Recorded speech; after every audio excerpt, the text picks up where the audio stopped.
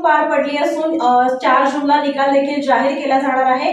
सोलापूर आणि माढ्याची आता मतमोजणी देखील सुरू केली आहे. सोलापूर आणि माढा लोकसभा मतदारसंघाचा निकाल चार जून रोजी लागणार असून जिल्हा प्रशासनाने मतमोजणीसाठी जयत्त तयारी केली जवळपास दोन हजार कर्मचारी मतमोजणीसाठी कार्यरत राहणार असून उन्हाळा असल्यामुळे रामवाडीच्या गोदामामध्ये ए सीसुद्धा लावले आहेत.